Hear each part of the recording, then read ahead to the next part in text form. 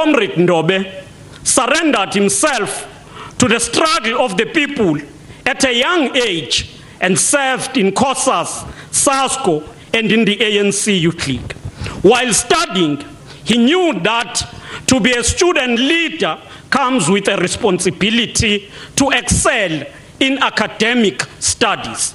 He demonstrated the leadership responsibility that comes with being a leader of students.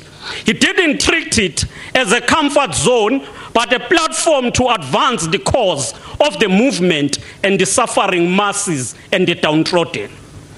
Comrade Ndobe knew the interconnectedness of the struggle for liberation.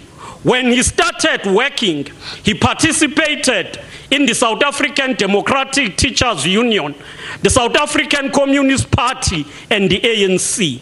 This strong base enriched his ideological outlook to strike a balance between the struggle for liberation of the ordinary people and advancing workers' struggle.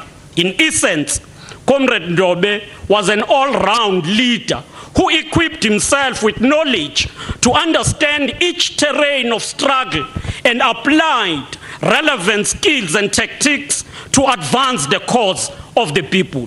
Fellow compatriots, here lies in front of us the son of Kwasonzobi village, who remained the epitome of skillful and grounded organizer.